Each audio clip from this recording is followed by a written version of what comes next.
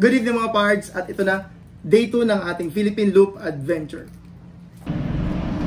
So nag-start tayo ng Aklan. Actually yung time na start natin is 101 dahil dire-diretso na rin ang naman kasi.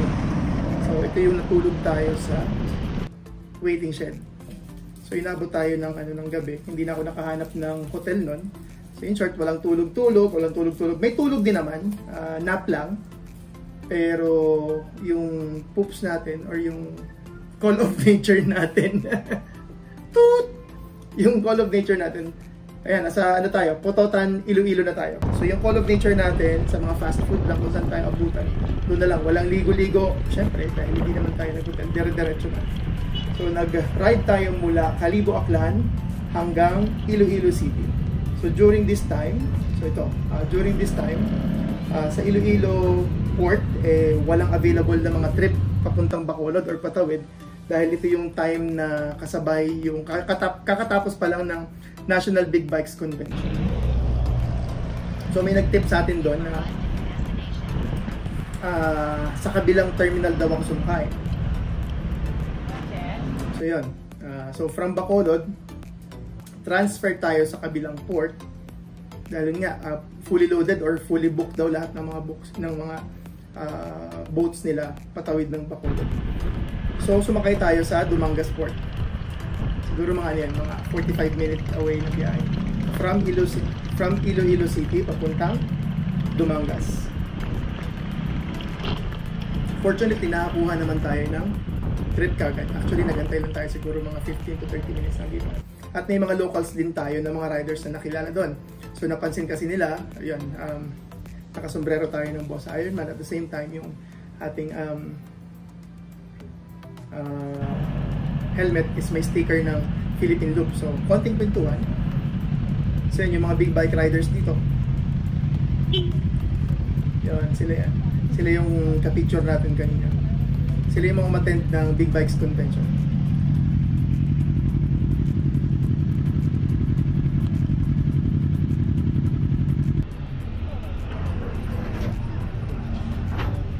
Ito yung isa sa mga challenge pag sumasakay sa Roro. Siyempre, pa-park ka, pero okay lang, masaya naman. Part ng challenge yun. So, ang lagi kong tinitake na ticket doon is yung regular lang para mas makatipid. Hindi naman natin kailangan yung aircon dahil, uh, syempre, tipid at the same time. ah, mas convenient din kasi pag lumalabas. Kasi pag sa ano ka, sa aircon ka, mas matagal makalabas doon. Ayan. So, so again mga parts, 2019 to, so wala pang COVID. This was 2 years ago. 2 years ago to. So yan, roll on, roll, roll off. Sa mga hindi nakakaalam kung ano ibig sabihin ng Roro, yun po ibig sabihin niya. Roll on, roll off. Roll on. So tumawid na tayo, nasa may Bacolod City na tayo. in front ng isang malaking mall. Sa Bacolod, syempre documentation. Katulad na nabanggit ko kahapon. Napaka-importante ang pag-take or pagdo-document. Selfie-selfie, picture-picture, mga resibo ng gas, pati na rin yung resibo ng prom. At syempre, hindi mag at syempre hindi makukumpleto ang trip natin ng Bacolod kung hindi tayo kakain ng batchoy. So kumain tayo ng super ng batchoy sa Super Batchoy House. Kung sa Batangas, essential ang lomi. Dito, essential ang alam nyo na yon. Pero masarap yung batchoy talaga sa kanila, authentic. At pupunta tayo sa isang um, tourist destination or tourist spot sa Bacolod, sayang naman, syempre side trip tayo ng konti. Although, uh, binabantayan natin yung time natin kasi kailangan nga natin makabalik agad sa office on schedule. So, ito, tamang daan lang. So, nakapunta tayo sa Ruins, Bacolod. So, ituturo ko kayo kung ano yung tsura sa loob. Ayan. So, pagpasok mo, yeah, very vintage yung kanilang architectural design, pati na rin yung mga gamit talagang vintage. So yun, pagpasok mo sa loob, actually, bare na yung loob, halos wala na rin talagang laman. Yung mga poste na lang, tsaka mga ano, mga beams. Tapos yung bu- bubong lang nila, inaalagaan lang talaga nilang wag, ma- wag nang masyadong ma-damage yung um, ruins. Ayan, kung makapansin nyo, ang ganda sa loob. Literal na dumaan lang talaga ako dito. Ito yung mga, na, ito yung mga nakakamiss ngayon. Eh. Siyempre, pandemic, hindi ka makapag-travel masyado. So, hanggang node-node ka na lang ng videos. Plus yun, tingin-tingin ng mga past photos, pati na rin yung mga travels.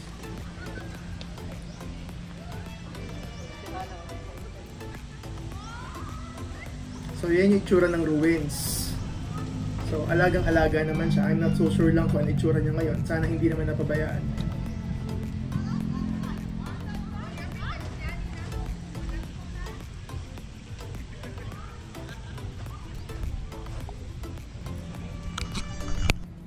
Again, picture-picture.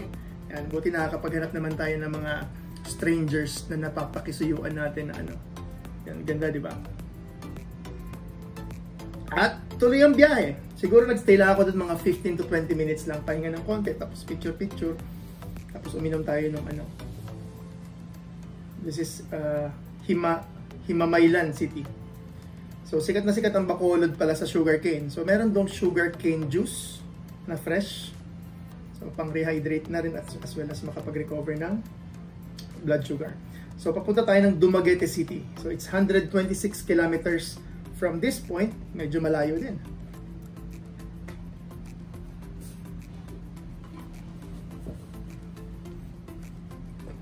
Yung pala, madalas na kinakainan ko lang pala during this ano, trip is puro fast food. Pero as much as possible naman, kumakain tayo ng local, pero mabilisan lang kasi. Karinderya yan.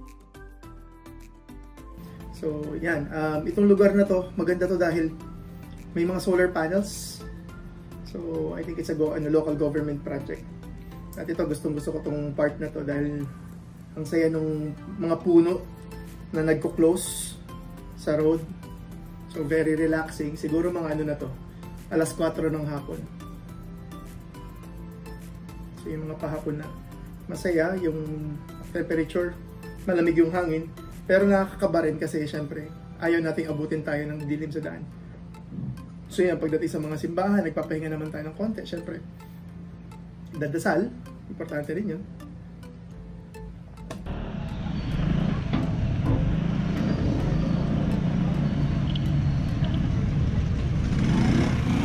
As much as possible dun tayo sa kilalang um, gasoline station na may resibo.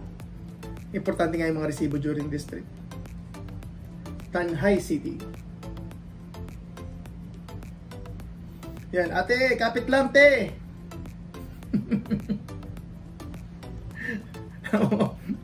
Naku! Tikal, tikal, tikal, tikal, tikal, tikal, tikal, tikal. Na-timingan lang. Singapore lang trip. Pero diretso to. So, galing tayo ng um, Aklan. Or, yeah, galing tayo ng Kalibo. Diretso tayo ng Iloilo. Tawid papuntang Bacolod. And then Bacolod papuntang Dumaguete. Ito, ganda ng hapon dito. This is the ano na, um, Dumaguete area na to. So, buti na lang at nakarating tayo ng Dumaguete na uh, medyo maliwanag pa. So, ang saya. First time ko ng Dumaguete. Actually, yeah, first time ko ng Dumaguete. Bacolod maraming beses na, pero Dumaguete, ito yung first time na makapunta ako dito. So, yun. Ang ganda sa Dumaguete dahil may port, malapit sa beach, may airport, at maganda yung community. Unfortunately, hindi ko na masyadong naikot dahil yun nga inabot na ako ng gabi. So, sana makapasyal. Pero since medyo nakaschedule tayo, kailangan natin makatawid kaagad ng uh, Mindanao. So, ito yung ito na yung last part of Visayas Islands papunta ng Mindanao. Via Dumaguete. Yan yung ating PCX. At syempre, yung helmet na ginamit natin.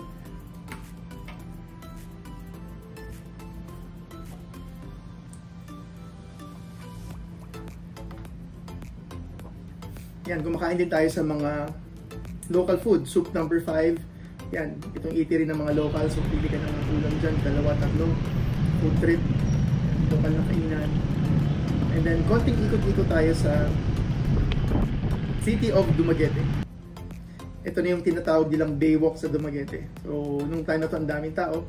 And, dumating na tayo sa Port of Dumaguete. Yan. Very exciting. Ang plano natin ito, ang plano natin dito is um, abutin na tayo ng ano.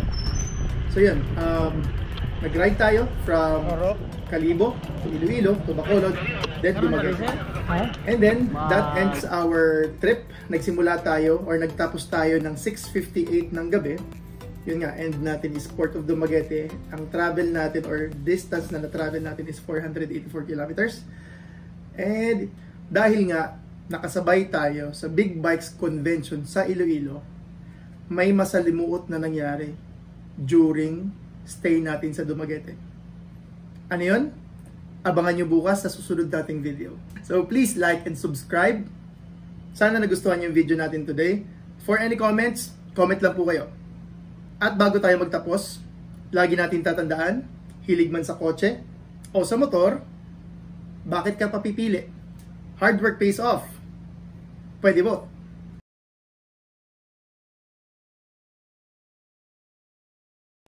So please like and subscribe.